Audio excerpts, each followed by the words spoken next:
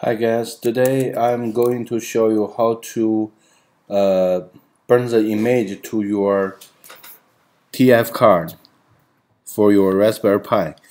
At the very beginning, you have to download the Etcher software from internet and then click it. It will appear uh, a menu like this First, first you have to select the image which download from the internet. Okay, I have already downloaded the uh, Raspbian operating system from uh, from the official website. So uh, I just to uh, select one of the uh, image file like this. Open it and then select drive uh, which you want to burn the image into. You can uh, press change. Uh, you will find that your TF card will be recognized by your system. Uh, here I have a 16 gigabytes uh, TF card. Insert to my slot uh, card slot. So it's recognized named by uh, disk 2 okay? Continue. And then flash it. Tap your password.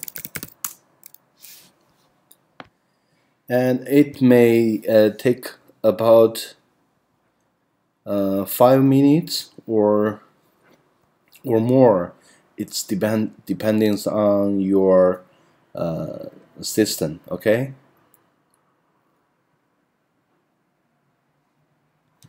And you can download richer from here. Github resin io etcher. You can download uh, the etcher software from github or just access the Etcher website to download. If you are using uh, Windows operating system, you can also download it here. And if you are using Linux Linux operating system, you can download here, here too. Okay. All right. It's very easy to use. Alright, let's get it back.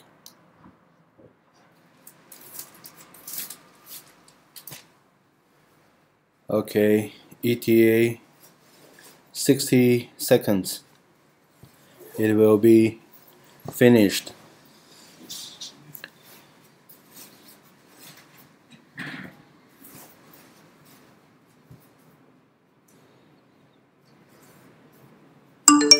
Okay Uh, your flash is complete. And also you can use the same image to flash another TF card. Alright thanks for watching. Bye bye